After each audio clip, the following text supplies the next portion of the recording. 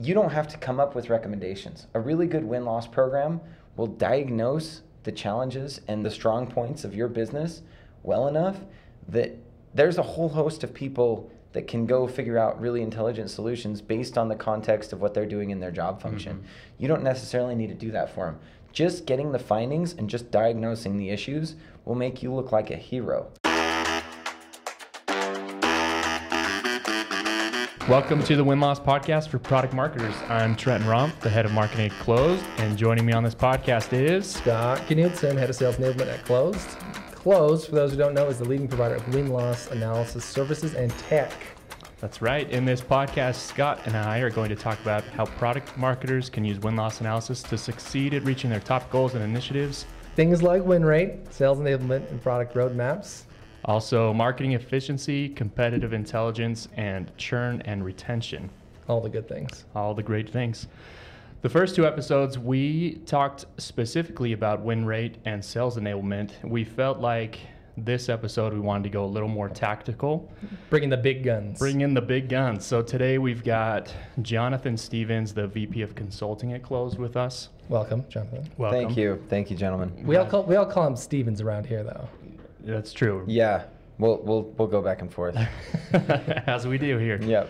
So today we brought Stevens on to lay out for us what we call the eight steps for a successful win loss analysis program, and and the goal here is anyone that's listening that's trying to figure out how do I start a win loss program or how do I improve one. We're going to walk through these eight steps to be a little more tactical, like I said, and actually help people implement a, a program, and, and we'll go from there. Yeah, no, no dallying. We're gonna hop right into the, into the good stuff here. So, Stevens, yeah, you you kind of cultivated this list. This first one here, determine what you want to get out of your win loss program. Break that down for us. What, what does that mean by that? Yeah, totally. I mean, it, it seems like it might be self explanatory and, and maybe kind of obvious, but it's surprising how many people we talk to that start one of these programs and they don't really have a clear objective that they want to get out of, of the win loss program. Right. Maybe vaguely they want to understand why they win and lose business. They might want to get a better understanding of their competitive landscape. But it, it's good to be a little bit more specific than that and really understand okay, what, what are we trying to get out of this? Because if you start with a, with a vague mandate at the beginning, you're going to get vague results at the end. So, totally. so being really clear about what you're trying to achieve is is pretty important. And ultimately, it also may sound obvious, but focus on trying to understand better why you are winning and losing business.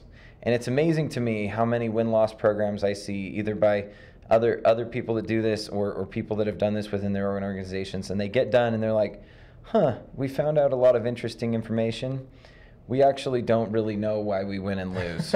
um, so, so again, it may seem obvious, but that's the that's the goal, and you should not lose sight of that goal as you go as you go through this. Do, do you feel like as as you as people start to, to collect this data, you're able to iterate and be like, hey, we want to understand why we win and lose, and that stuff comes like, oh, actually, we're starting to see a big gulf in our head-to-head deals. We want to understand why we're losing specifically to this customer. Like, do, do you feel like it's good to shift to a really specific priority or, or keep it vague at, or broad at first, I should say? Yeah, good question. I mean, it depends on your business. It depends on how many opportunities you have. If you're a high deal size, low pipeline volume type business, you really need to interview everybody or collect data somehow from from everybody. But but to your point, if if you have a lot of opportunities going through the pipeline, it's good to start general and then start to really hone in on where your pain points are. You'll probably figure out pretty pretty quickly what what the trends are starting to emerge as. And then as you identify those trends, you can dig deeper into okay, well, it looks like we're losing a lot against this competitor. Well, let's just focus on that competitor for a while and understand what the what the issues are for that. Um, or it might be a regional thing or a segment thing. Like I've I've I've worked with businesses where they actually win a lot more deals that are bigger than $100,000 than smaller than $100,000, which is interesting. You know, it's it's a little bit counterintuitive, but for that you'd want to focus on well what's what's going on with these smaller and middle market type buyers that's different from the more enterprise type buyers. So so yeah, I, I think to your point, you, want to get more specific, but it depends on the nature of your business and your pipeline. Nice. So someone that's not doing win loss and they can't iterate yet, how have they usually approached where they find this problem they're trying to figure out. Is this CRM? Is it do they just come with you with ideas? Like what do you usually see when you start a program? Yeah, yeah, good question. I mean, typically there is a pain point that, that somebody has identified, and most simply it's we're losing more deals than we think we should. Sometimes it's just that vague, right? They haven't done any other particular analysis. The next step is often people have consulted with, with their sellers and they find out some sort of high level trend that they want to they want to test, right? They have a hypothesis of what they think is going on. Um, but but often, I think the most common way is people are mining some sort of data that they have internally, right? Right. They get their CRM data and they're looking at some trends. And and the interesting thing about CRM data is it really does a good job of telling you what's going on. It does a very poor job of telling you why that's going on. So that's where you need win loss is to understand the why behind this this trend that you're seeing. Gotcha. So when people get started, sometimes it's literally just an assumption, a business assumption about we're losing we think it's pricing or we think it's just this segment we're going after. That's, Yeah. that's what you're saying. So you're saying people aren't coming to you fully prepared with like, we did a full CRM analysis over the last five years of every opportunity that came through and we have these four hypotheses. Like you're saying people start way sooner than that at just kind of the, the uh, assumption or guesswork stage. Yeah, that full CRM hypothesis or CRM analysis and hypothesis that is a result. It's it's rare. It's definitely an exception rather than the rule. Most of what we see when people first come to us is a lot of anecdotes. Gotcha. Is people haven't necessarily gone really deep, but they know that they're losing. They they have some hunches, and they want us. They, I mean, that's the reason they come to us is they're trying to get something more rigorous and data driven, and often they just don't have the time to do something like that. Sure. So that's great. That goes right into the next point of, okay, we've got these assumptions or this uh, this anecdotal evidence that we're losing for some reason more than we think we should. Um, and the next point that you've brought up is the the win loss champion. Is that we can call them that? They Yeah. need to go get buy-in. And tell me more what you mean by buy-in. Buy-in from who? Buy-in to do what? Like what? What are you hoping for there? Yeah, yeah, good question. So getting buy-in is really important. Sometimes that's easy, sometimes it's a lot harder, and I'll, I'll explain a couple of the ways that typically works. But typically, people that are thinking about win-loss, in in our experience, often come from a competitive intelligence or product marketing function. Those those functions need to get support from other functions within the organization to really make their win-loss program effective. And what I'll say is that the, the people that you want to know are the people that can actually affect change in your company. People that are building your product, people that are selling your product, they're the ones that matter. So, in general, the, the one role that can be the make or break in, in one of these is like a, a head of sales, VP of sales type role. Hmm. They can be your biggest advocate, they can also be your biggest de- detractor.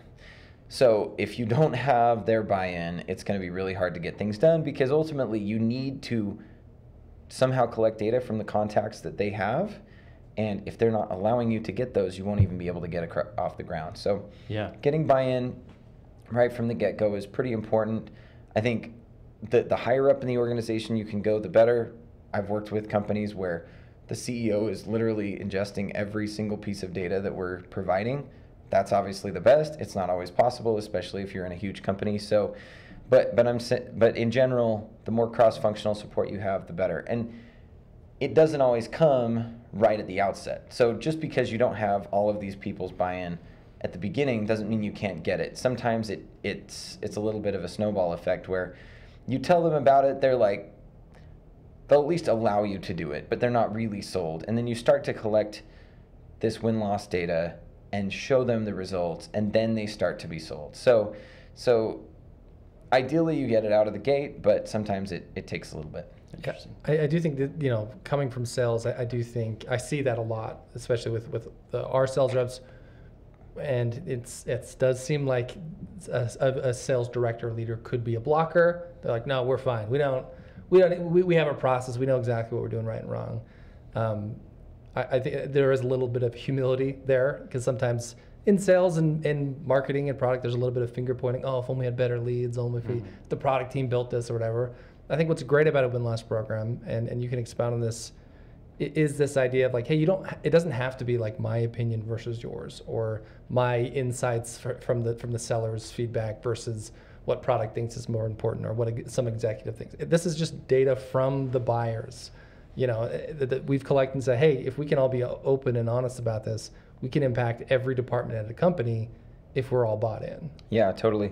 Well, and that's why once you start collecting the data, it's really hard to refute the, Yeah. the results. It's like, oh, wow, this is exactly what our buyer said. You know, 10, 10 of the people that we talked to out of the 20 that we talked to said this particular feature in your product is totally useless and very difficult to understand. Yeah. Okay, I think we know what we need to do now. Yeah, let's let's double click on this a little bit more because I'm sure there's a lot of product marketers out there that are trying to figure this piece out. How do you buy in? Yeah, because they're like, oh, I got to get a list of contacts. I, I need the permission to reach out to buyers, customers, and there's this roadblock of, well, who are you to talk to our customers? You're not in sales. Right. We don't want you to talk to them. It's these relationships are critically important, which makes sense. Like we Yeah. get that for Sa- sure. Sales or or customer. Yeah, the CSM side, the Yeah. customer success side for sure. So um, I like what you said, where you said um, as soon as the data starts to come in, it's really hard to refute it. It shows the value. So one thought I had is maybe product marketers should start, and I think a lot of them do, and they maybe don't get the best feedback, but they probably should start with like low hanging fruit, right? Like go after some wins and interview some customers that everybody is okay with you talking with, and it's they're people that like you. So I don't think you'll get as deep or as valuable of insight where it's people that actually don't like you. but at least you can start to show, a well, look, look at the quality of the interviews we're getting, look at the feedback we're getting, and hopefully in that you at least have some insights that sales wasn't aware of or or customer success wasn't aware of, and then you can say, okay, I think there's something here. Let me go and interview these other people. Yeah. What do you think about something like that? Yeah, totally. I think that makes a ton of sense. I mean, if you if you start getting those those proof points, it makes it way easier. And and inevitably, what you alluded to, Trent, is that people will find out things that they didn't know, Yeah. and especially the people that go into this thinking, "Oh, I know why we win and lose," Right. which sometimes they're sort of right, but almost always there's something that they didn't know that, that there's these aha moments that they have when they get this kind of feedback and so so i would say in general you know starting out with a couple of proof points usually is enough to, to at least get the ball rolling So when it comes to you know get, getting these interviews right, a, a lot of people are going into you know building this program for the first time. They don't really have a good grasp of how many people should I be reaching out to. What should I expect as far as participation rates? You- you- One one of the points that, that you said is essentially to be realistic about participation rates. What does that mean? Yeah, good good question. So, in general, before we start talking about participation rates, I'll just talk about the total number of data points you want to collect. In general, I think most people try to they, they make these programs too small. They don't collect enough data to really get a representative sample of their whole business and their whole pipeline. Mm-hmm. That's not the case always, but but I find that people generally err on that side. So you want to try to get more data. People tend to cherry pick their data too much, and they might find out information on particular deals, but it's not enough to really get defensible trends across their whole business. But that also leads into this participation rate situation. So what what you'll find is in general, not everybody will participate in a interview or fill out a survey to give you win-loss feedback. What we find generally is that for interviews, if, if they're incentivized, you're going to get about a 20% participation rate. So you have 500 opportunities going through your pipeline every year. You want to do 100 interviews or, or somewhere in that ballpark. That's, that's what we'd recommend. If you think you can get better participation, that's great. Let me know. Typically, that's that's about the best we've seen in the business, and, and it depends on your types of buyers too. We've found that certain business functions just have a greater propensity to talk to people and give mm-hmm. this kind of information. Others don't. So so think carefully about your buyers and the type of, of propensity they're going to have to to respond to something like this. I I think that is one thing that we highlight, at least on the Clozd side of things, is everybody wants more participation rates, right? Like Yeah. that's we, we want more data. One nice thing about leveraging a third party is that one, it's a third party, right? As a buyer, having the person that you rejected come back and be like, wait, wait, wait, wait, let me let me sweetheart deal you here. Like Yeah. you're a little bit less inclined to kind of tell them the whole truth. Whereas a third party, again, this is kind of why Yelp works as a platform. Most people aren't giving that feedback directly to the restaurant owner. They're telling a third party, this was my experience. Um, so that's that's one big advantage. And and second is, like you said, best in the business. We've been doing this for five, six years now. Uh, th- that's part of what we invest in is the science behind what gets uh, participation rates. Like we invest in how do we increase that on the behalf of the programs that we run here. Can you can you speak to any of that? Yeah, totally. Well, and this is, I would say, the number one pain point of people that try to do this themselves without any sort of firm that's helping them is they come to us and they say, Yeah, we had a really hard time getting people to participate. And then we ask them what they did, and then we know why they had a hard time, right? Um, it's pretty clear. We've been honing this for years, and we have a team of a, a couple dozen people that all their job is is to get people to respond to things like this. There's email automation, there's cold calling, there's all sorts of things you can do. There's the cadences of the emails, there's the wording in the emails. We've all tested that. We've done all sorts of things to to try to determine what's the what's the most effective way to get people to participate on this.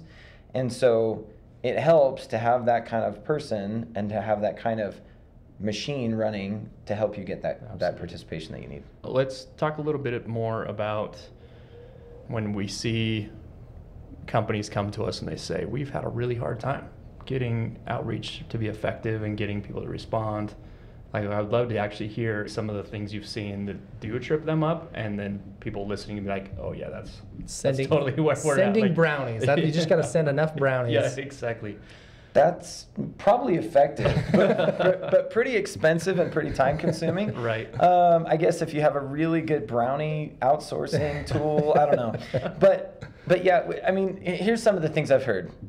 Oh yeah, we, we sent we we emailed everybody and nobody responded. It's like, oh, how many emails did you send? Oh, one. Right. One off email. Yeah, like, I mean, for everybody listening to this, how many emails do you respond to, and how many emails from somebody you are have that's tried to sell to you Yeah. do you respond to the first time? So Right. you have to send reminders, and and sometimes people are so worried about that. People are used to it. If you if you're really overbearing in how you do it, that can be annoying and people Mhm. don't like it but but you have to send reminders so that's something we've heard i mean the, another thing that we often hear is people don't offer any sort of incentive hmm there's especially if you're in a business to business type setting the person that's buying from you they're not a poor person right if they have budget to buy software or to buy some sort of business to business service Right. they need some money to compensate them for their time or a reason to, right? Sometimes sometimes people are motivated by a charity donation and they're a little bit more altruistic, but but there's got to be something that they're getting in exchange for giving you you know a half an hour of, your, of their time so so that's another key thing is is people don't don't offer any incentives and the other thing is just that they're they're starting from scratch and they don't have any experience doing it hmm so for people that are, they they usually fumble around for a while till they s- see something that works. Whereas when we do it, we've been doing this for a long time. We know what works. We know what doesn't work, and so we don't have to waste that time. Yeah, and I love. Um, I'm sure there's a lot of people listening that are in this path and they're ready to invest in a third-party win-loss solution like us, or they're trying to do it on their own, or they've got a program and they're somewhere in between, right? So let's. I, I want to just try to help the people that aren't ready to totally invest or they haven't gotten that buy-in to buy a third party, right? So, who, when you're thinking about that kind of person, like let's say I'm a product marketer and I'm trying to do win loss analysis, and Scott's my sales champion over here, and you're, let's say, like my customer success champion, right? And I come to both of you and I'm like, hey, I need a list of contacts, and I'm gonna send an email out that says, hey, I'm from the marketing team with your win loss expertise and also in the CSM role. Would you like, no, let's not do it that way. Let's actually have the sales rep send it out, or let's have some other person and their title just on this email is like researcher or like customer advocate or something like that. Like how who should the emails come from? How should they approach that? Should it be direct? And it's like I'm on the marketing team. I'd love to hear your experience. Or I'm on the sales team. Right, yeah. I feel like if it came from the sales team, the buyer would be like, "Oh, you're just trying to You're trying to win me back. this exactly." Um, and so, what, what do you think there? Like, how would you suggest to someone to do that effectively? Yeah, so so typically what we do is when, when we do the initial outreach, we have it come from the highest level person that we can at the, the selling organization. Mhm. So a- as Scott mentioned, like if the sales rep reach out, reaches out, they're going to be like, "Oh, well, is this really a postmortem? Or are you just trying to sell me more?" We're low on the totem pole. But sales. if but if they get an email from the CMO or the CEO, Right. that's a little bit different. I think everybody knows that the C- CMO isn't going to be the one actually talking to them, but maybe it has the CMO's buy-in, so they're going to give it a little bit more credence than than something else. So so that introductory email typically we we send from the highest level person, and then some follow-up emails. I don't know if it matters as much who that comes from, Mhm. but having a title behind it actually does make a difference, and we've done research to show that that's true. That's awesome. so we kind of jumped right into your fourth point on top of the third of ensure effective outreach, and you talked about some incentives. Um, be consistent. I think you talked about like don't just send one and don't don't be overbearing with it. Um, and let's dive into this this other um, kind of sub bullet on ensure effective outreach, where you talk about you need to focus on your most important feedback that you want to get back first. What I've seen a lot, I've seen this even in the PMA Slack channel, when people ask about win loss analysis, they'll say, "Well, surely you're sending a quantitative interview or a survey first and getting all that data, and then you're going out and trying to interview those positive and negative on the survey." So, talk to me about what this point means in your in your mind. Yeah, good point. I mean, that is that is a path that some people have chosen. We don't advocate for that, and Very I will tell diplomatic. you, uh, without mentioning any names. So here's the thing. I mean, it, it actually it, it's kind of it seems intuitive at first, but when you Mhm. peel back the onion on that strategy, it, it doesn't work for a number of reasons. For one, there's a very like practical, logistical reason that it doesn't usually work. When you get, if you want to interview somebody and you believe that that's the holy grail of what you're trying to achieve ultimately, and you send them a survey first, they might fill out the survey, and many of those don't go to the next step and do an interview, Right. right? So, so you're going to start to get some fatigue in in the people that you're trying to collect feedback from, and and then you have to take two steps, which takes longer, and so that 20% response rate that we talked about, that goes down dramatically. What we've Mhm. seen is for online surveys, typical response rates are about three to five, three to five percent when non-incentivized. They can get up to ten percent when incentivized. But then if you layer on top of that an additional interview, you're looking at a three to five percent response rate, and then maybe twenty percent of those Right. Maybe you'll get better because they've actually responded to the survey first. But let's be really generous and say it's 40% of those. That's like 1 to 2%. Mm-hmm. So so you're really really narrowing down your pool when you do that. So that's just from a, a practical standpoint. The other thing is it depends on the type of feedback you're trying to get.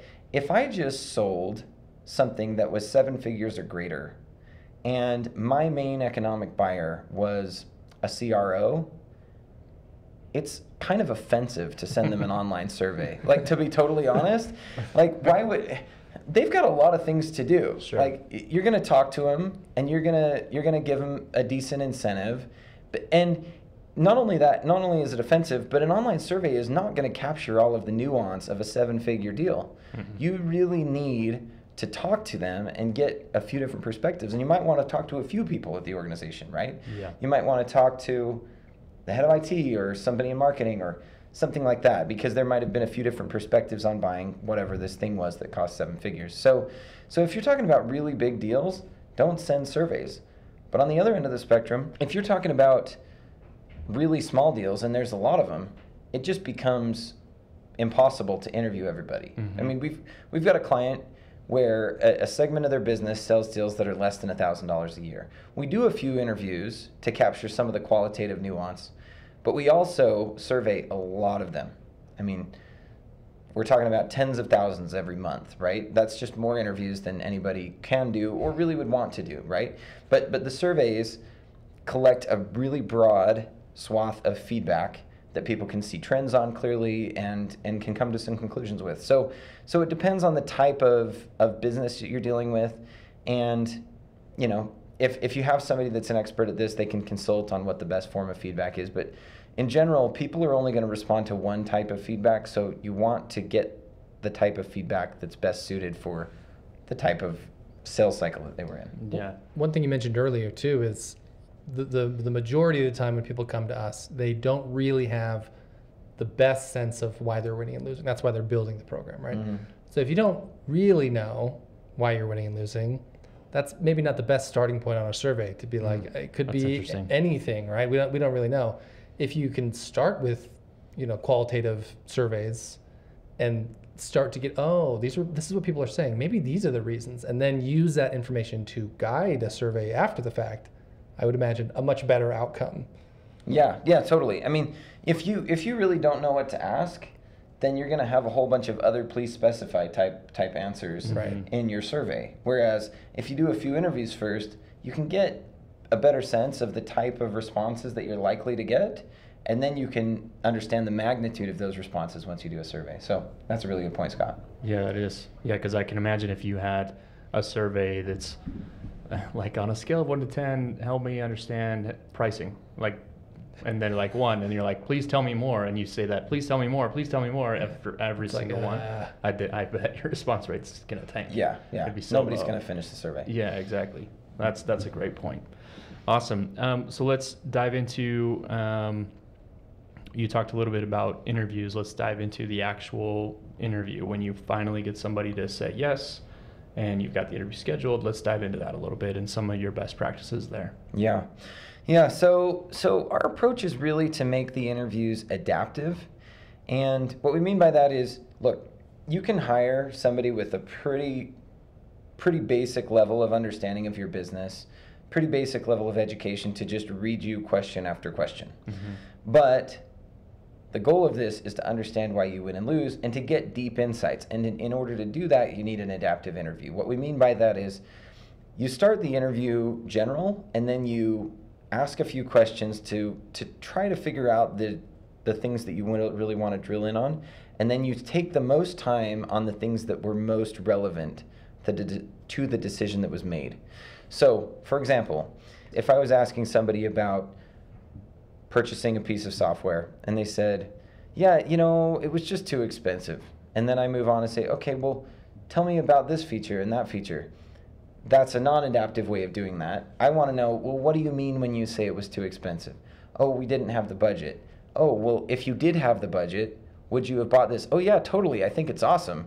It's just way too feature rich and way too expensive for what we need.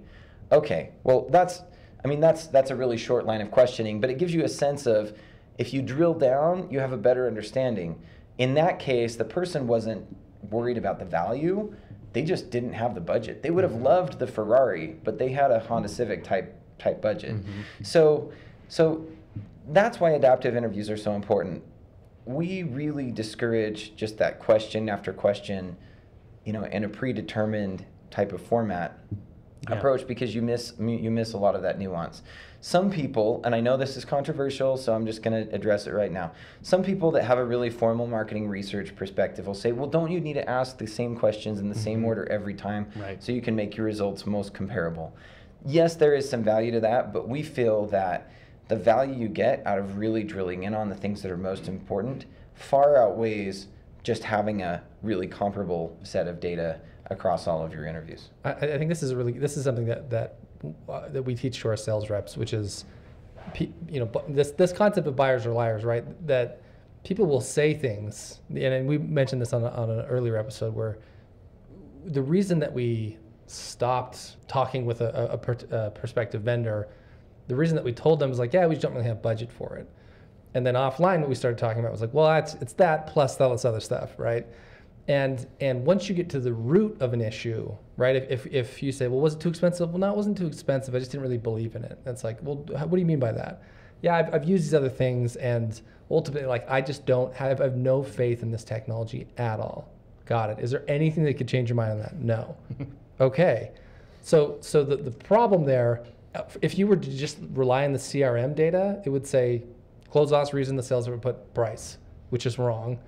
And then if you if you took it at the survey level, I would say price four, you know and features three, mm-hmm. right? And you say, well, it seems like it's both. It's like, well, no, like it's it really is one root big issue. That's the real reason that we said no. If that's not there, that changes the whole buying cycle, right?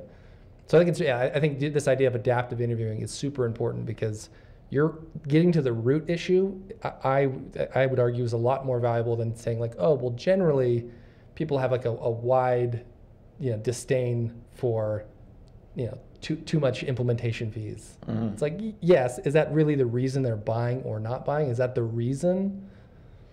Yeah, totally, totally. And and I mean, a lot of the time we we when we're talking to to prospects, they say, "Oh, we want a consultant that really has expertise in our industry." And I think that may be important, but what what people don't at least initially see enough value in is that interview skill set because to mm-hmm. be able to Totally. conduct an interview while you're drilling down and finding out the root cause of the issue that's a skill and a lot of people don't have that i- immediately and and when you have people that do it full time then then you know that they're they're skilled in the, the ability to understand an issue and to drill down to get at the heart of the issue to, to do exactly what Scott was talking about, right? Because if you don't know what the true reason was, then you can't react to it and adapt your business accordingly. So that's something that we're really big on. And it, it's, it's really pr- pretty satisfying when you ask somebody a question, you get a surface level answer, and then tactfully drill down a little bit and you realize, whoa, there's way more to it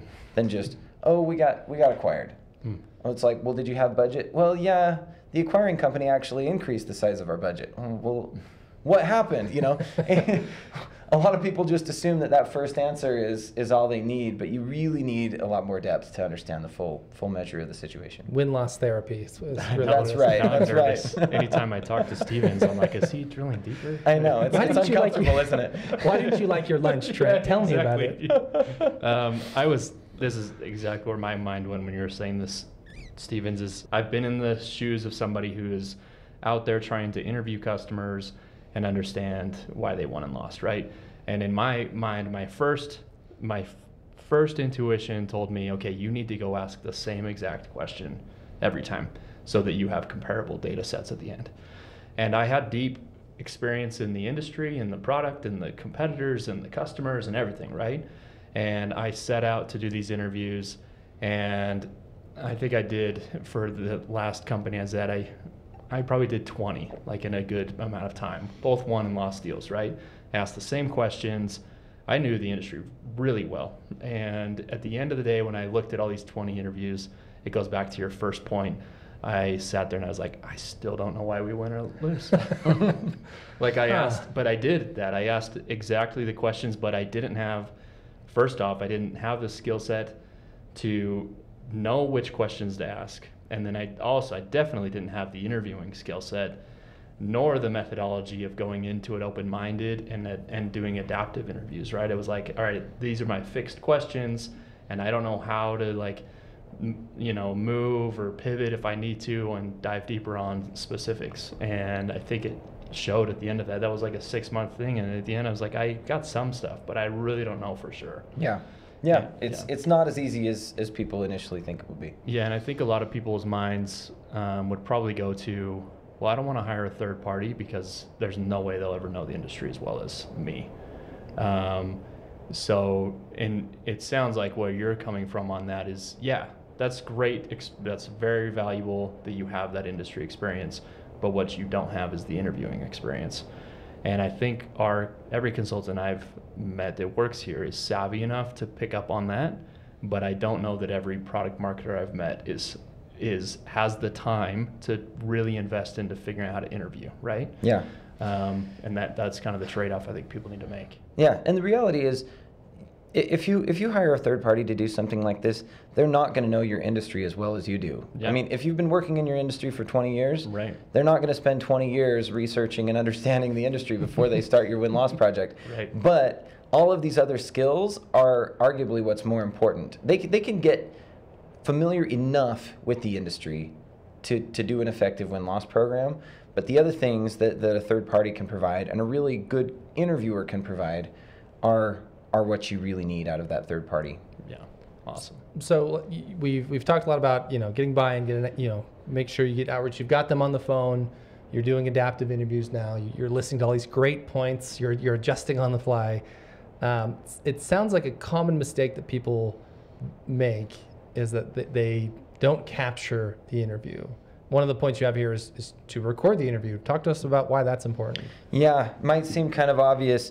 One of the one of the clients that came to us after doing a DIY win loss program, their program consisted of making using the notes app on their iphone mm-hmm. to to record what they found and i was like well how did you share that with executives like i don't know if your credibility was all that high with with that kind of with that kind of recording we we record the interviews right and and the first thing we always hear well aren't people uncomfortable being recorded well here's the thing we we only share it with with our clients those things aren't publicly available and the other thing is there's no way you can type or write notes fast enough to really capture everything that's going on. So, might seem obvious, record the interview.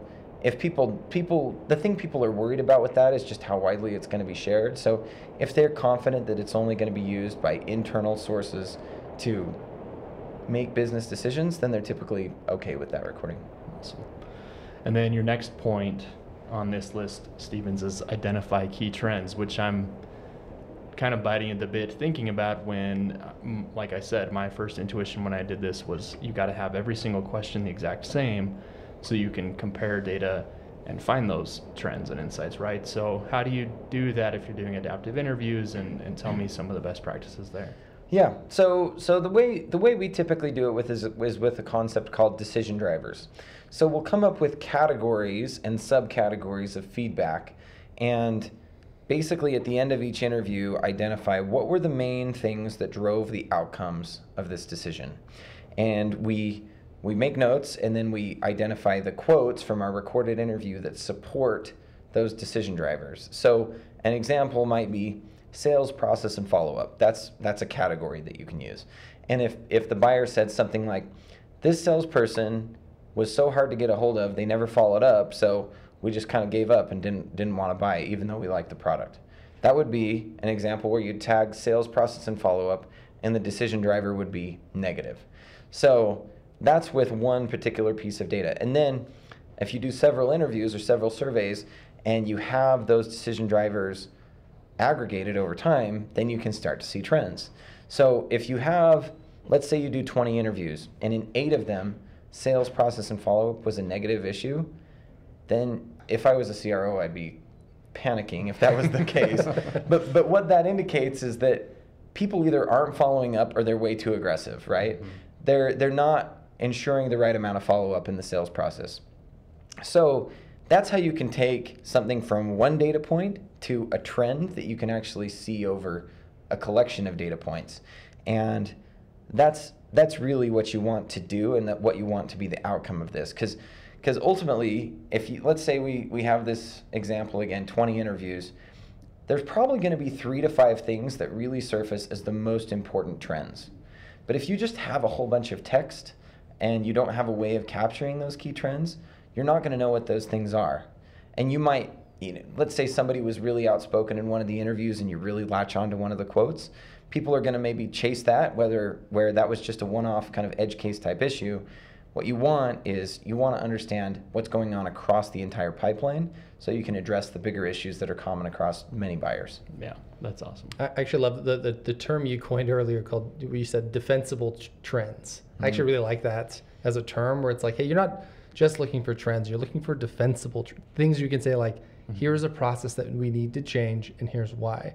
The data is suggesting this. This isn't my opinion this is what the data is telling us, right? And you want you want to build your program to identify those kinds of trends that you can not only diagnose but then also work to provide solutions for. Right? Yeah. And and the defensible part of that really comes from you have to identify something that the prospective buyer said that indicates that that was the real reason they made a decision, right? Anybody can have a conversation and say, "Oh, well, I think this was the reason that they made this decision." Well, what did they actually say that indicates that was the case? Mm-hmm. And so that's that's where it becomes defensible. If I if I find that situation where eight times out of twenty sales process and follow up was an issue, and I have quotes from buyers that support that, it's really hard to refute that. Mm-hmm. And so these decision drivers that you're using to find key trends and insights and to categorize uh, feedback you're getting, do you to, you determine these like before you go do the interviews and you have a list of them? Uh, I assume, right? And how would you how would you coach somebody? Like, what would you tell them some of the decision drivers should be initially if someone's doing DIY win loss right now? Yeah, definitely. Typically, we start with a set of decision drivers that are common for, for a B2B sales type scenario. If you're dealing with a different kind of business, like one client that we worked with recently, they're basically a, a wealth management solution. It, it's much more services heavy than product heavy, so the decision drivers are going to be different than somebody that sells, I don't know, customer support software or Sure. something like that, right? So you, you usually come in with a hypothesis, but then you adapt and you build your decision drivers as you collect your information. If I were to advise somebody, to, to the next part of your question, if I were to advise somebody that's just starting one of these, what the decision drivers would be, typically they come in a few categories. They are product or service, depends on your type of business. Is it more product heavy or service heavy? For Clozd, we actually have both because there's a service element to what we do and a product element. So product or service and sales process, that's always part of it.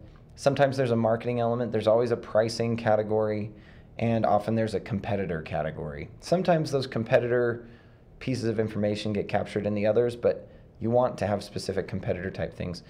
Um, there, there may be others depending on your business. You might have a more, like a customer support section with with drivers that are related to that. But but I would say typically your drivers will bundle up into those general categories. Right, and then as things pop up more, maybe you add another like sub decision driver type thing you could dive deeper in is, is what you, what you would coach people. Yeah, totally, totally. It depends on how much feedback you're getting, but like commonly for for sales, like if sales was your category, Mhm. that sales process and follow up is one. Sales empathy and communication is another one. So that's a subcategory. That has to do more with do the people actually listen to you? Are they good communicators?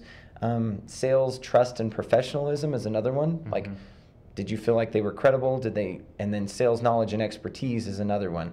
Did you feel like they knew what they were talking about?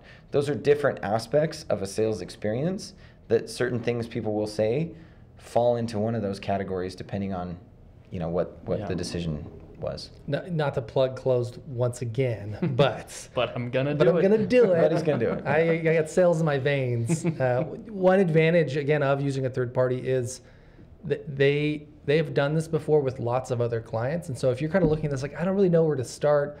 I, I'm not sure which decision drivers make the most sense, right? Having uh, a, a weathered hand to be like, well, this is what we've seen in other industries that, that you're in. Um, here's where we can start. And as a program rolls out, the, the way our programs are structured are kind of on a quarterly basis typically. And so every quarter you're able to kind of analyze the data and have somebody give recommendations and give guidance and give feedback and show results and and uh, display that information in a really friendly way for again somebody who maybe is just getting into this, right? So that's a really huge upside to a product marketer or somebody who like this is this is their thing that they're having to steerhead.